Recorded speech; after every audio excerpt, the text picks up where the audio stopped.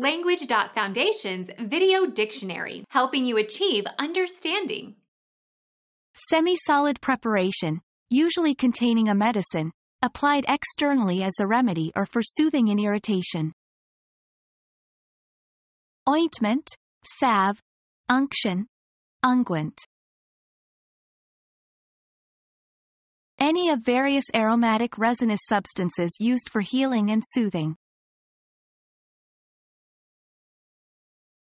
Become our student and get access to effective and free educational materials. Subscribe to our channel to become a part of our growing community and to learn English effectively.